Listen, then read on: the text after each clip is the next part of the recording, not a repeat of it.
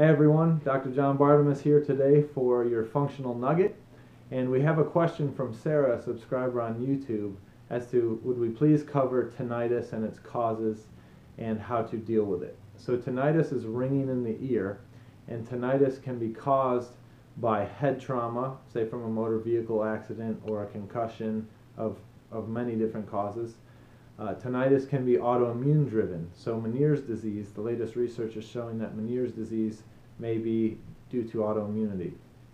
Um, infection of the inner ear and the vestibular system can cause tinnitus. So can electrolyte imbalances.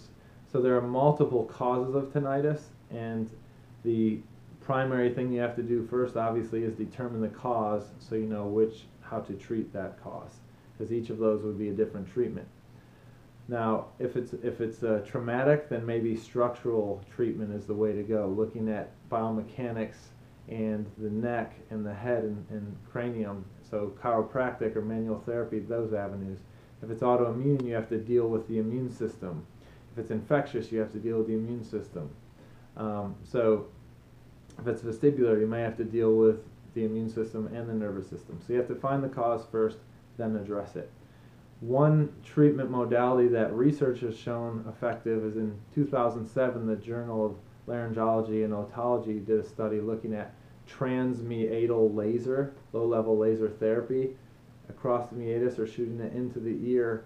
Um, what they did is they did 15 minutes into the ear seven days in a row, and it yielded massive results. So for just 15 minutes, seven days in a row, they were getting 50% decrease in the loudness of the ringing, 50% decrease in the annoyance of it all, and, and that was with just seven treatments, and the average person had been dealing with it for eight years.